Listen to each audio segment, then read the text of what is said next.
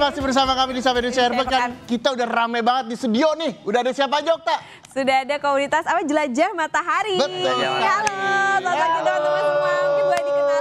Ada siapa aja kemudian eh, bisa diperkenalkan jelajah matahari itu ngapain sih? Kenapa sih namanya jelajah matahari? Kan matahari jauh ya, apakah panas gitu ke sana? Ini ada siapa aja? Boleh dikenalin dulu Ada siapa dong. aja nih? Dari komunitas Jelajah Matahari. Ah, halo, aku namanya Solihin, biasa dipanggil Hin. Cahil. Kalau ini Habibi. Nah, kalau ini Reza. Ya. Kalau aku Alwi. Alwi, Alwi. itu Okta. Iya. Oke, Nah, ini tadi kata Okta adalah komunitas? Jelajah Matahari. Kenapa namanya Jelajah Matahari? Jadi- Apakah itu? Jadi jelajah matahari itu eh, sebenarnya paling simpel kita tuh awalnya ngajar semua. Kita tuh jurusan pendidikan ya. Kita ngajar ada eh, ada kegiatan yang namanya seribu krayon untuk matahari. Oke. Nah kita tuh bagi-bagiin krayon buat anak-anak kecil. Oh. Nah di sisi lain ternyata kita punya kelebihan masing-masing yang Apa bisa jadi ekonomi kre- ekonomi kreatif kayak gini. Ada makrame, terus juga ada batik juga. Oke. Nah temen-temen ini ada Alwi sama Solihin eh, ternyata punya talenta lah yang bisa eh, dikembangin. Jadi selain ngajar juga di si jelajah mataharinya ternyata ada anak-anak muda yang kreatif di dalamnya. Nah, kalau berbicara soal kreatif, tak lengkap rasanya kalau misalnya udah dijembrengin di sini, Ya. dikasih lihat semuanya ada apa aja, boleh dong disebutin di bagian saya dulu kali ya. Oh Nah, iya, ini ada apa aja nih? tuh. Ah, jadi kalau ini kak eh, ada makrame. Makrame. Makrame. Kalau apa tuh makrame? makrame tuh eh, kalau singkatnya eh, apa seni untuk mengikat. Oh. Seni mengikat. Tak- Iya. Jadi modal dasarnya cuma tali aja kak. Oke, ini ada tali Ada nih. tali-tali gini dan biasa tali yang aku pakai sih ada eh, tali perusik sama paracord. Oh, bukan tali sepatu ya? Oh, bukan, beda, Bukan, beda. beda. Oke, terus apa lagi? Ini ada apa lagi di nah sini? ini ada jadi aku Boleh butuh kayak buka? aksesoris aksesoris tambahan gitu Oke. Itu hasilnya yang depan ini ya? buat Jadi kayak Ini gitu. Ada ringnya, terus ada stopper Oke. sama ada ini. Nah, kalau ini? hot string. Hot string tuh kayak solasi bakar gitu loh. Oke. Nah, jadi untuk ujung talinya nih biar nggak berantakan, nah ini dibakar pakai ini. Oh, A- Alwi pinter nih langsung kasih kode nih ada di sini. Nah, ini. Kurang lebih Kayak seperti gini ya, ini gitu dibakar ya. ujungnya gitu. Oke. Boleh saya sambil praktek, kita boleh sambil ngobrol ya. Oke. Okta ada apa aja? Selain makrame berarti yang ini ada apa nih? Mungkin Cak Hin bisa jelasin. Ini ada namanya batik tulis, Mbak. Batik tulis. Nah, Oh nih kayak gini nih. Kalau batik tulis yang biasa kita tahu kan itu kan biasanya itu kan motifnya itu kan motif-motif klasik ya. Nah, cuman kalau misalnya dari saya pribadi ini kita pakai eh, ngambil itu batik kreasi atau batik kontemporer. Oh, Jadi oke. kita nggak terikat sama eh, apa tut apa tatanan adat. Jadi sebenarnya kalau batik ini juga sebenarnya punya apa ya punya ukuran sendiri. Jadi artinya mulai dari motif, mulai dari warna itu harus khusus. Akan tetapi kalau misalnya batik kreasi atau batik kontemporer ini enggak. Mereka itu bebas. Jadi terserah mulai dari motif sesukanya, terus juga sebisanya juga. Ini mau dibuka satu kali. Iya ya? boleh contohin kayak gimana. ini Oh makanya ya namanya juga seni ya. Iya. Maksudnya ini kan tergantung dari eh, kitanya gitu. Maunya sukanya seperti apa, Dan kreasinya ini gimana. Salah satu batik yang udah dibuat kemarin. ini ring. Ini sarung. ini sarung? kain, Ini sarung. kain 2 meter cuma sudah dijahit jadi kayak semacam sarung. Oke. Nah, Berapa lama nih bikinnya? Karena kalau dilihat kayak motifnya agak rumit ya teman-teman ya. Oh, cuma kalau ini tergantung sih kalau misalnya untuk warna. Jadi ini kan yang paling ma- lama itu adalah proses warna, Mbak. Warna yang paling lama itu adalah warna ketika proses pencelupan.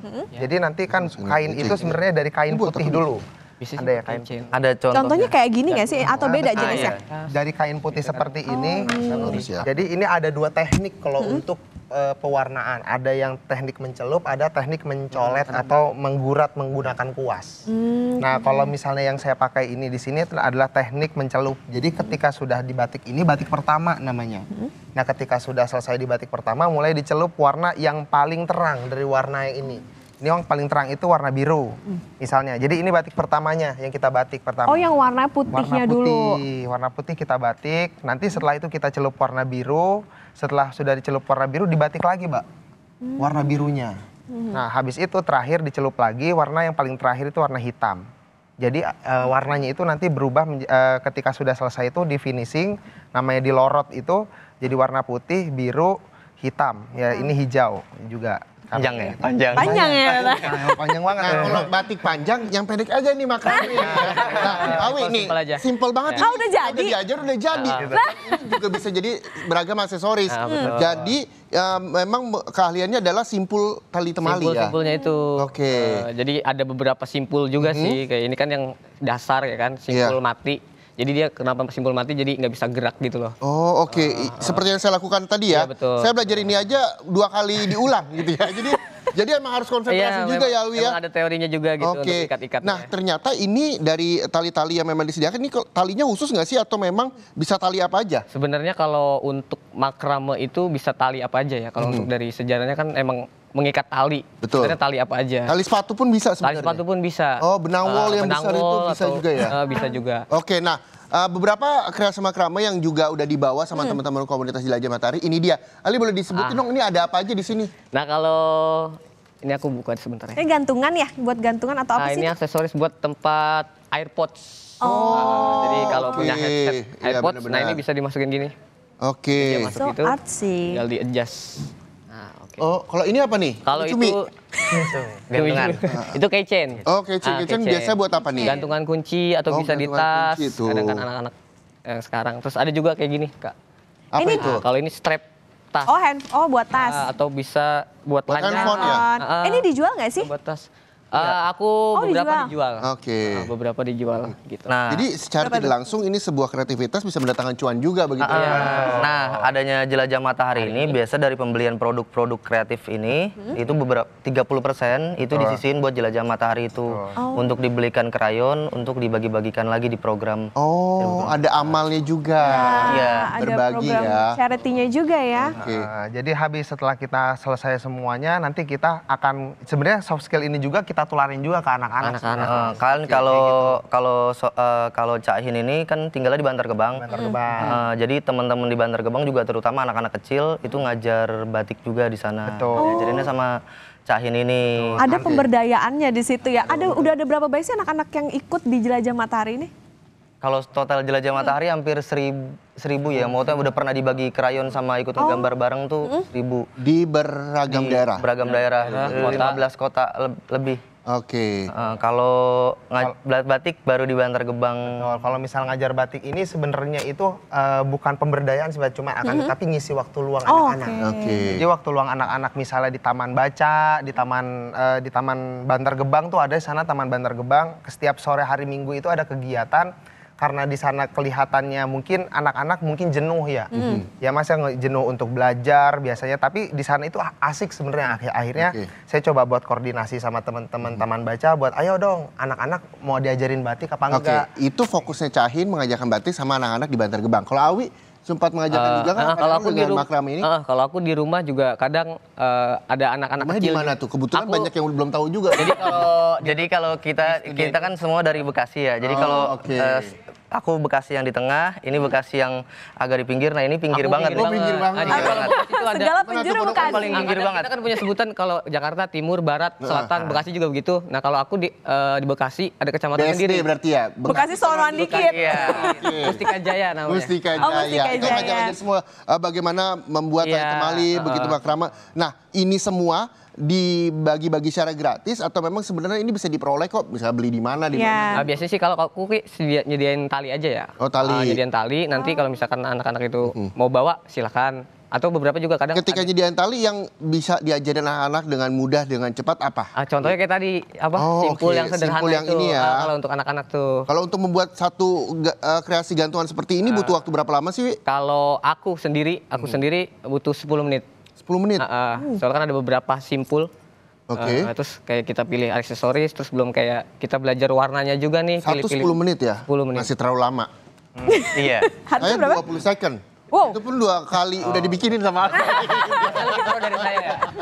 Jadi eh, kalau ini buat sekarang tuh masih sama anak-anak. Nanti buat ke depannya kita sama teman-teman lagi ngusahain buat ibu-ibu, Ibu-ibu. ibu-ibu buat eh, belajar bikin Belajar makrame. makrame ini. Sebenarnya manfaatnya apa sih kalau misalnya makrame ini untuk uh, anak-anak sendiri yang sudah awi uh, alami begitu? Nah, kalau aku sih untuk anak-anak pertama ngisi waktu luang tuh ya kan ke anak-anak sekarang kan banyak yang main HP gitu-gitu. Oke. Terus yang paling penting sih melatih fokus. Eh, Oh, kalau jadi eh, fokusnya lebih ke bagaimana cara dia bisa Menyimpul itu, menyimpulkan yang terus benar, lebih kuat begitu ya. pilih-pilih warna gitu. Oke, oke. Nah ini kan kayak begini, eh, talinya harus dililit, terus eh, penggunaan korek api juga dibakar kan ya? Iya. Ah, nah itu pasti juga di- dibantu diawasi. Ya, kan? benar. hati-hati ya. Oke, selain kreasi makrame yang juga akhirnya bisa sebagai tempat airport, apalagi sih ada nggak sih sesuatu hal yang mungkin besar tas mungkin dibuat dari Tas, bangku. bangku. Jadi aku ada Bangku. beberapa produk juga. Ah, ah, Jadi bangku. Tapi nggak dibawa ya? Nggak, nggak dibawa karena pengen duduk rasanya. Iya, main duduk Rasep. jadi kalau kita bangku lipat tuh, nah itu pakai tali aku buat. Oke, walaupun ini masih pagi, tapi di studio ini berasa malam. Hmm, kenapa tuh? Malam batik, ya. Benar ya? Masuk, Berasa malam masuk, batik. Nanti masuk, kira-kira masuk. seperti apa sih Oke. batiknya? Tapi nanti saja deh. Jadi tetaplah bersama kami di Sapa Indonesia, Indonesia. akhir pekan. Masih bersama komunitas Jelajah Matahari di sini. Tadi ada Ya. malam, artinya sudah waktunya untuk membatik. Boleh diajarin dong, Cahin? Batik. Oh, Saya ini juga jago Ada- banget kabar membatik. Ada apa aja sih di sini nih? Oke, kalau Cahin. misalnya Makanya ikut. kita lihat, Boleh? Iya. Saya diajak. Ayo, saya silakan, dulu silakan. ya. Nih. Oke. Ayo Barani ada ada ada tiga nih. Ada tiga soalnya. Oke. Ya.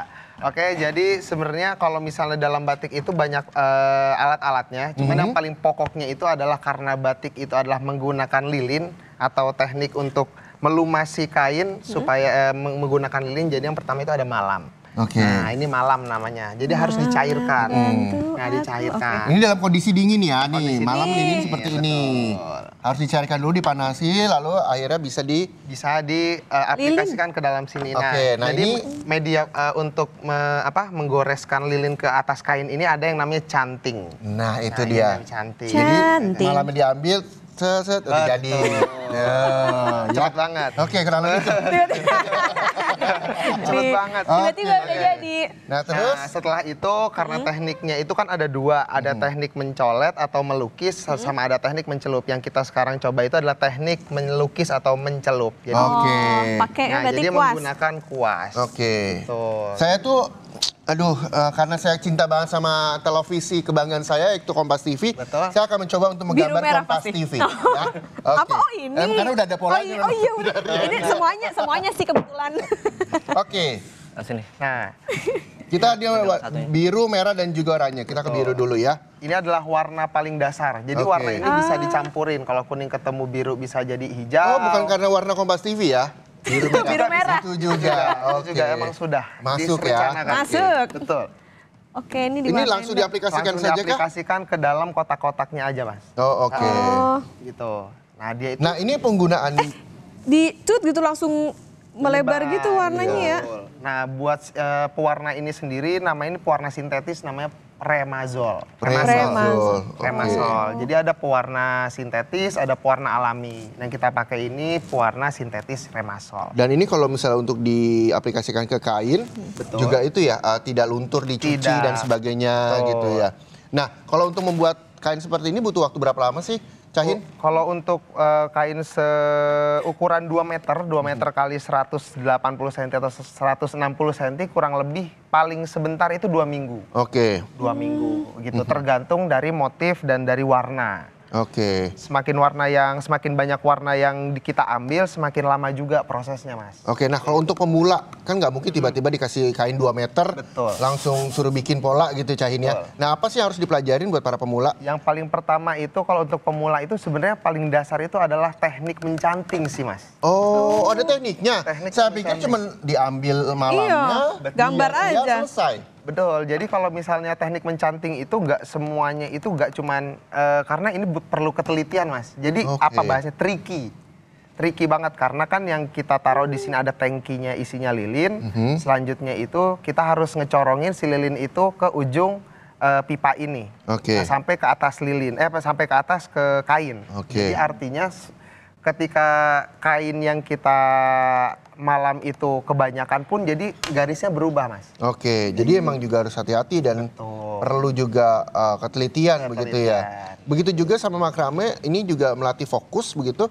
Nah, respon anak-anak yang mungkin pernah diajari sama Cahin di Bantar Gebang utamanya apa sih ketika membatik karena ini sesuatu hal yang juga uh, jarang banget buat belajar seperti ini kan Cahin. Oke, jadi kalau misalnya anak-anak sih apa? respon mereka tuh pertama itu adalah pertama oh baru tahu sebenarnya Mas. Oke. Jadi kebanyakan mereka yang baru tahu batik itu ternyata cara eh, membuatnya itu dulu seperti ini.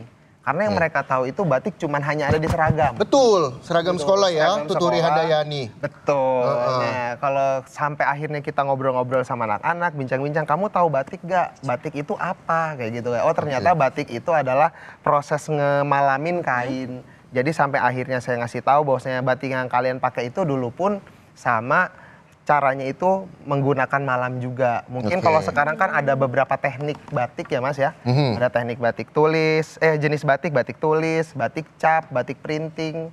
Terus juga Banyak ada, ya oh banyak deh, pokoknya banyak jenisnya. Eh teman-teman ini udah pernah ikut event apa aja sih? Mungkin siapa nih yang mau cerita Habibie? Atau- iya, eh, jadi kita eh, ada pameran juga. Terus biasanya kalau biasanya kan aku kan pelukis ya. Jadi setiap aku ngelukis biasanya aku juga sediain eh, cain buat workshop juga. Jadi anak-anak muda terutama anak-anak muda juga ya bisa ikut turut serta buat nyobain gimana sih batik gitu. Anak-anak mudanya. Kan kalau anak-anak kecil eh, cahinnya udah, tapi kalau misalnya anak-anak mudanya aku tuh tujuannya ke situ. Biar anak-anak muda tuh ngerasa kayak, "Ih, batik tuh keren tahu gitu. Oh, makrame keren tahu gitu." Akhirnya mereka coba sesuatu yang baru gitu. Nah di Jelajah Matahari ini selain batik dan juga markama ada lagi nggak sih kegiatan-kegiatan yang eh, diajarkan sama Kegiatan anak-anak seni selain gitu. bagi-bagi eh, seri krayon itu ya? Ada Ada sih kemarin eh, selain eh, kita pameran juga, betul pameran, pameran, pameran anak, pameran anak karya juga. anak, pameran Karya. karya anak biasanya kita. Jadi selama kita eh, berkegiatan di Jelajah Matahari, jadi kan ada karyanya tuh. Ya. Ada mulai dari ekoprint, terus juga ada batik, terus juga ada apa namanya gambar Ya. karena seribu krayon untuk matahari kan. Jadi kita pamerkan itu di halayak publik. Oke. Tuh, Sebenarnya sih karena untuk memancing sih mas. Terus sama sisi lain juga buat anak-anak muda, kita juga sering buka ruang diskusi. Tuh. Nah, itu dia yang mau saya tanyakan. Gimana caranya misalnya saya, Okta atau teman-teman di luar sana mungkin ya ingin bergabung menjadi volunteer misalnya. Ingin bahkan tidak hanya volunteer, ingin bisa totalitas sama teman-teman Jelajah Matahari. Bisa ke mana sih? Ada Instagram kah? Atau media sosial yang bisa di-share? Ada, kita punya Instagram Jelajah Matahari. Nah, kalau Oke. buat eh, kalau buat Instagram kita asli itu ada di Jelajah Matahari juga. Tapi biasanya juga. kita mulai mulai kembali aktif di Jelajah Matahari itu. Kan soalnya kemarin tuh malah kayak aset dokumentasi ngajar kita kan lumayan banyak. Betul. Nah, kita ngeditnya bisa sedikit-sedikit ya. Betul, karena kita emang bertiga-tiga aja ya kan dari awalnya, tapi untuk eh, seberjalannya waktu ya alhamdulillah banyak yang ngebantu. Tapi banyak juga kok teman-teman yang Mau ngikut ikut andil. eh, ngajar gitu di mana bantuin kadang-kadang sampai kemarin kita ke Bandung ya terakhir ya. Betul, ke Bandung. Bandung Kabupaten kita ngajar juga di sana. Oke, jadi semua bisa di uh, lewat medsos untuk menghubungi teman-teman dari Jelajah Matahari ya. Nah, dalam waktu dekat ini ada nggak sih agenda-agenda yang akan dilakukan sama teman-teman Jelajah Matahari? Eh, kalau kemarin kan versi besarnya 15 kota kita ngajar tuh, tapi kemungkinan di awal tahun depan Betul. Itu kita ke Bima, Sumba. Sumba, Daerah Sumba. mudah-mudahan. Oh, oke. Mudah-mudahan. Eh, tapi satu kota aja kan, kalau kemarin 15 kota, kalau sekarang satu kota biar teman-teman Nah, juga ini- yang ngajar nggak Ini kan kali ya. kalian kan uh, cukup bisa membantu uh, masyarakat, terutama anak-anak yang kurang beruntung begitu untuk bisa uh, mendapatkan mm, kebahagiaan tersendiri. Pernah kerjasama nggak sih sama pemerintah misalnya? Eh, pernah. Kalau Respon kemarin mereka seperti apa? Kalau kemarin sempat kita kolaborasi sama Kemenpora juga. Oke. Tapi kalau Kemenpora kemarin progresnya kita ke anak-anak muda. Karena kan ada kepemudaan. Jadi kita kemarin ngobrol, diskusi, terus membuka ruang kayak anak-anak muda harus ngapain sih? Bisa nggak sih eh, punya usaha? Kan model-model ruang-ruang kita kan ruang-ruang kreatif usaha gini. Bisa nggak sih punya punya usaha atau bikin usaha gitu? Terus bang, bagaimana caranya kreatif gitu? Nah hal-hal kayak gitu obrolan di anak-anak muda. Terus kalau brand Brand-brand juga. sekarang ya beruntungnya tuh brand-brand terbuka sama anak-anak juga. Jadi Sponsor uh, sponsor. sponsor-sponsor biar lebih ramah. Oke. Nah, kita nggak kerasa waktunya Okta ya ketika memang uh, melukis atau membatik tepatnya ini dia hasil karyanya tuh. Wih. Tepuk tangan dong di studio. Tuh. Jadi memang ini melatih fokus terus juga uh, bisa mengkreasikan dan ketika sudah ada hasilnya puas ya. Gitu ya. Saya harus ke sana sebentar biar bagus. Nah, ini semuanya uh, perlu pembelajaran teknik dan dikasih tahu bahwa eh, untuk membatik ini juga menyenangkan untuk mengisi waktu luang gitu Cai. Betul, sangat-sangat eh, sangat-sangat sebenarnya kalau misalnya batik ini kan sangat melatih kesabaran, melatih kefokusan. Sabar bener, saya.